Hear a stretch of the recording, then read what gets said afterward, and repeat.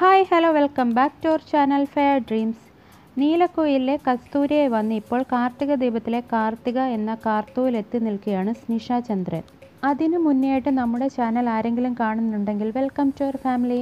നമ്മുടെ ഫാമിലി മെമ്പറായിട്ട് ജോയിൻ ചെയ്യാൻ വേണ്ടി താഴെ കാണുന്ന സബ്സ്ക്രൈബ് ബട്ടണും തൊട്ടടുത്ത് കാണുന്ന ബെല്ലൈക്കണും കൂടി ഒന്ന് പ്രസ് ചെയ്തേക്കണേ. മലപ്പുറം മഞ്ചേരിയിലാണ് സ്നിഷയുടെ സ്വദേശം. പ്ലസ് ടു വരെ പഠിച്ചതും വളർന്നതുമൊക്കെ മലപ്പുറത്ത് തന്നെയാണ്. പ്ലസ് ടുവിന് ശേഷം ഫാഷൻ ഡിസൈനിങ്ങിൽ ഡിപ്ലോമ എടുത്തു. സ്നിഷ ഒരു അഭിനേത്രി മാത്രമല്ല ഫാഷൻ ഡിസൈനറും കൂടിയാണ്. അതുകൊണ്ട് തന്നെ പെരിന്തൽമണ്ണയിൽ സ്വന്തമായ ഒരു ബൊട്ടീക്കുമുണ്ട്. സംഗീതം പഠിച്ചിട്ടില്ലെങ്കിൽ കൂടി വളരെ നന്നായി പാടാനുള്ള കഴിവ് സ്നിഷയ്ക്കുണ്ട്. പാടുക മാത്രമല്ല വളരെ നന്നായി ഡാൻസും കളിക്കും.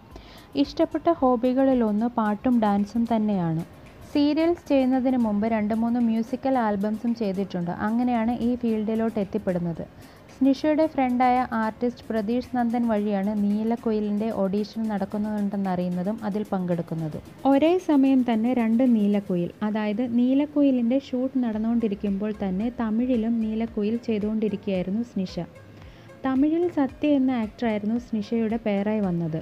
മലയാളികൾ ഒരുപാട് ഇഷ്ടപ്പെട്ട കഥാപാത്രങ്ങളായിരുന്നു നീലക്കുയിലിലെ കസ്തൂരി ആദി താരജോഡികൾ അതേപോലെ തന്നെ ഇപ്പോൾ കാർത്തിക ദീപത്തിലെ അരുൺ കാർത്തു താരജോഡികളെയും അവർ വളരെയധികം ഇഷ്ടപ്പെടുന്നുണ്ട്. സ്നിഷയ്ക്ക് ഏറ്റവും ഇഷ്ടപ്പെട്ട ആക്ടർ ആരെന്ന് ചോദിച്ചാൽ ഒറ്റ മറുപടി ഉള്ളൂ മോഹൻലാലിന്റെ മകൻ പ്രണവ് മോഹൻ. തമിഴിൽ നിന്നും തെലുങ്കിൽ നിന്നും ഫിലിംസിൽ ഓഫർ വന്നെങ്കിലും സീരിയൽ തിരക്ക് കാരണം ഓഫർ സ്വീകരിക്കാൻ പറ്റിയിട്ടില്ല. യാത്രകൾ ഒരുപാട് ഇഷ്ടപ്പെടുന്ന സ്നിഷയ്ക്ക് കൈലാസത്തിലേക്ക് യാത്ര പോകണമെന്നാണ് ഏറ്റവും വലിയ ആഗ്രഹം. കാരണം ആളൊരു വലിയ ശിവഭക്ത കൂടിയാണ്. അച്ഛൻ അമ്മ ചേട്ടൻ ചേച്ചി അടങ്ങുന്നതാണ് സ്നിഷയുടെ കുടുംബം. അച്ഛൻ ചന്ദ്രൻ ഒരു ജേർണലിസ്റ്റ് ആയിരുന്നു ഇപ്പോൾ റിട്ടയർഡ് ചെയ്തു.